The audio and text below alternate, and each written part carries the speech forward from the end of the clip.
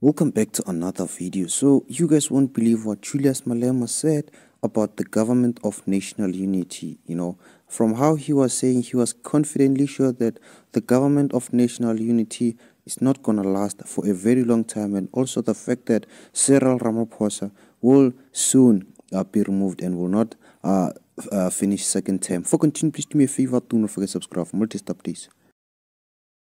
So I just want you guys to hear what Julius Malema had to say about the government of national unity, whether or not it will last, and also uh, what he said about Ramaphosa, you know, being removed as a president, not being able to finish um, his second term. For continue, watch this. The GNU will not last long.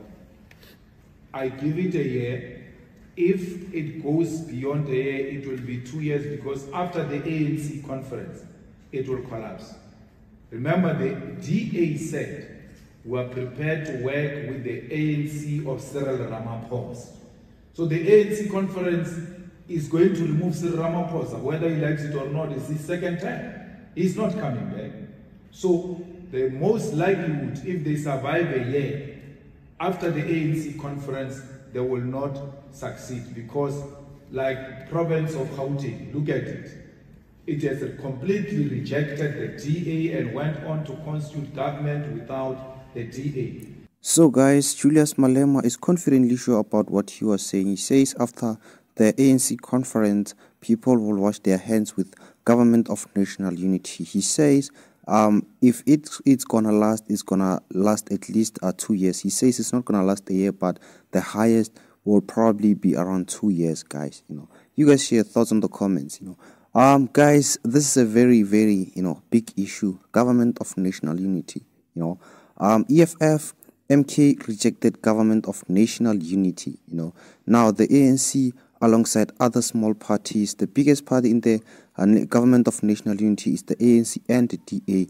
Patriotic Alliance is way less. It's not even on the top four biggest political parties in this country. You know, the ANC is the one that is leading and selecting the cabinet. You know, it is the lead. It is the leading political party in the government of national unity and it's the one in the first place that invited other political parties like patriotic alliance which has been making a lot of noise you know since um, they made uh, Gayton McKenzie as uh, Minister of Sports, Arts and Culture, you know, so he has been trying uh, so hard, you know, to prove himself to South Africans that he is uh, the man for the job and he can be trusted and he is worthy of being a minister. No, I, I see what he's trying to do, and I really don't blame him. If I was also him, I would also use the opportunity to shine so that uh, people can uh, trust me more and think that I, I always deliver with my job, you know. So Julius Malema saying the government of national unity will not last, you know, has upset some people because since the government of national unity, some people were being really optimistic. They believe that government of national unity is actually the way and it will help South Africa change, you know, because since government of national unity, I, I, I don't want to lie, also I've seen some lot of changes. I've been seeing people, their stock, their stocks, you know, also rose, you know, uh, by a small percentage, but it just shows that government of national nationality so far so good, you know. But the question is, will this, you know, how long will this continue, guys? How long will we see this kind of results? For how long? You know, it's not in all departments that we have been seeing some great results. You know, um, me personally, guys, I just want to see good results on the on the police department, guys. You know, I see uh, sports, arts, and culture department, but with the police, guys, this is where I will believe that government of national unity has brought a serious change. You know, since Bheki Cele was uh, sacked as a minister of police, they have put someone else. Right now, that's where minister of police and minister of home affairs, if they do their work correctly, guys, ah, that's when I'm gonna be like, nah yeah, actually, uh, Ramaphosa's ANC was onto something with this government of national unity. You know, because uh, the crime rate in this country um, is just out of hand, guys. The rape cases, you know, like so much thing, like it is just so crazy.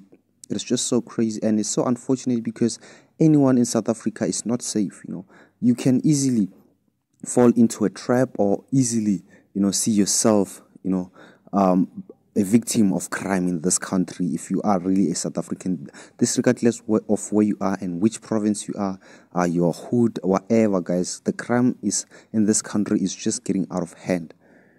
You know, so the government of national unity, guys. Um, let's just hope, guys, it works out. But also, personally, I do not think that I will see these amazing results. Um, so so long, you know. And also, I just want to talk about MK Party as it was announced as the official oppo opposition by Thoko Didiza as um, the member of parliament. She announced it, guys.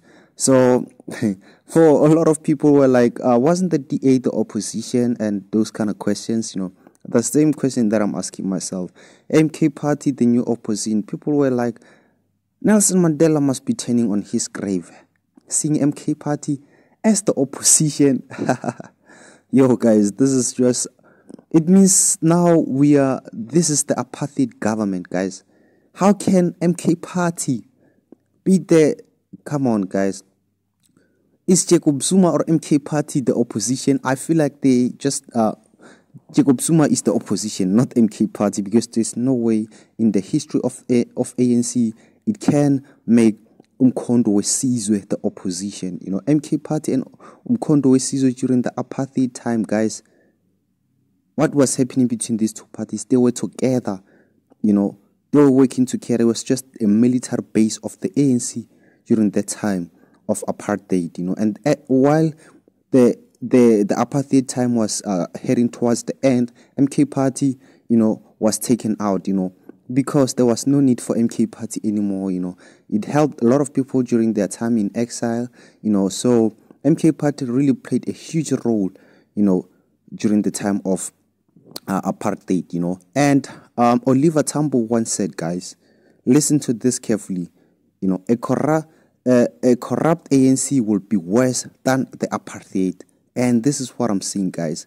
The corrupt ANC is making Umkhonto Wesizwe the opposition you know, so this takes us back to what Oliver Tambo said, guys. He was spitting facts when he said the corrupt ANC will be worse than the apartheid. You know, because right now, guys, okay, the the brutality is no longer there anymore. The one that uh, was happening during the apartheid, but the, like there is far worse than that we're still gonna see. The ANC right now is working with the enemy. It's working with the colonizers' messengers It's working with the DA in the government of national unity and they have abandoned uh, Wesizwe because they have personal agendas against Jacob Zuma. The EFF is the opposition. So, guys, I really do not understand the A. This is not the ANC that they have fought so hard for. You know, the one which supported the, the liberation movement. The ANC which uh, fought for black South Africans, the ANC of Ramaphosa, is working with the colonizers. They have signed papers, guys. It's on paper right now.